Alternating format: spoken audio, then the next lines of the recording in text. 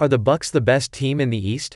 Originally posted on the Cold Wire by Robert Marvi, last updated November 26, 22 after winning the NBA championship in 2021. The Milwaukee Bucks had a bit of a struggle last season, finishing third in the Eastern Conference and losing to the Boston Celtics in 7 games in the Eastern Conference semifinals.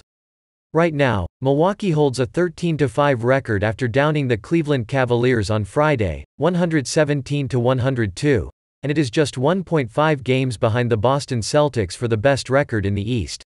It has done so even without Khris Middleton, its second best player who has been out all of this season with a wrist injury. As well as the Celtics have been playing, could the Bucks, all things considered, still be the best team in the conference?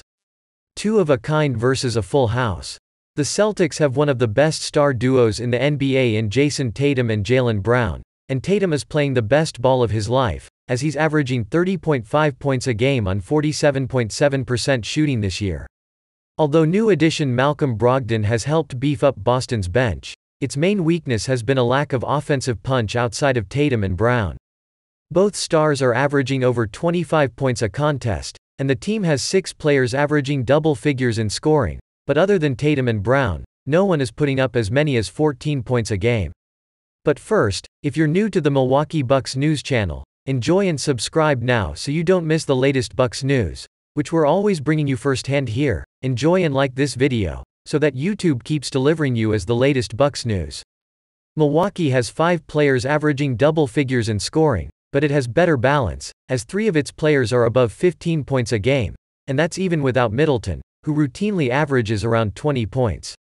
In addition, the Bucks bench is more proven, thanks to contributors such as Bobby Portis, Grayson Allen, George Hill, Pat Connaughton and Serge Ibaka. None of them are big scorers, but they can all pitch in offensively and collectively hurt opposing teams. In addition, the Bucks have arguably the best player in basketball in Giannis Antetokounmpo. Right now, Boston may have the best team in the East, but it's all about who's the best come May and June, and at this point, the safe bet may be the Bucks.